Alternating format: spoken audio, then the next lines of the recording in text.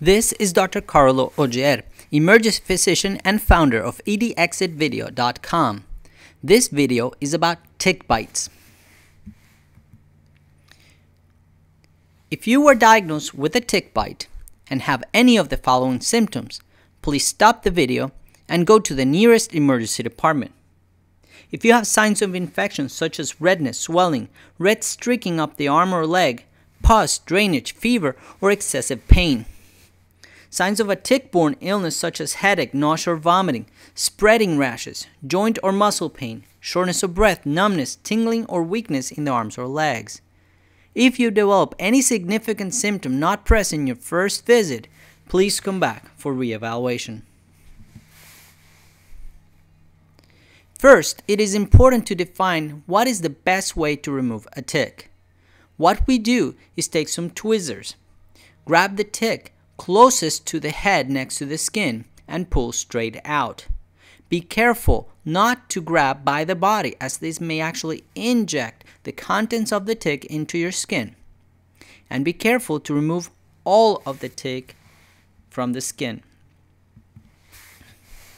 Here are some pictures of different kinds of ticks. You can see some of them are very small. Ticks generally are found in rural or wooded areas. A tick bite is usually painless.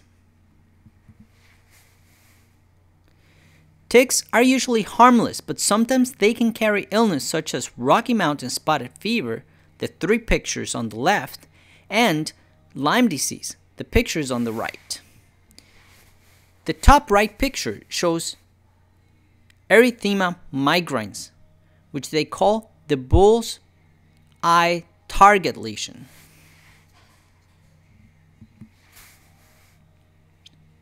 Even in areas where the tick almost always carries this type of infection, the tick is usually not attached long enough to transmit or send enough of the disease for an infection to develop.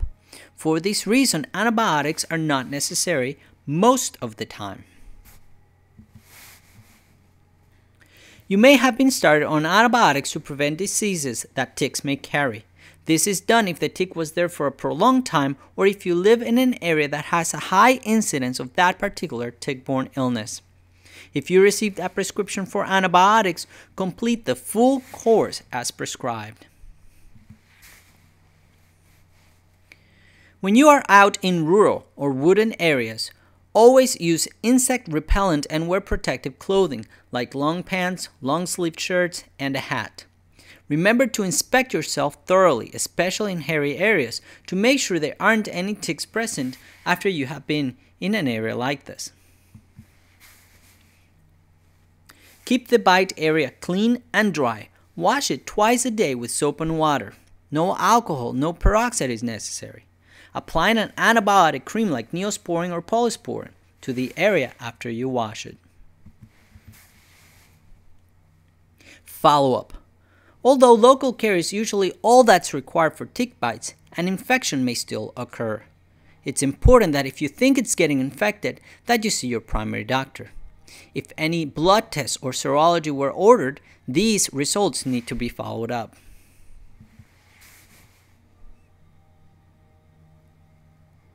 For other videos like this one, please visit edxitvideo.com. But remember, these are educational only and should never replace the advice or attention of your primary care provider.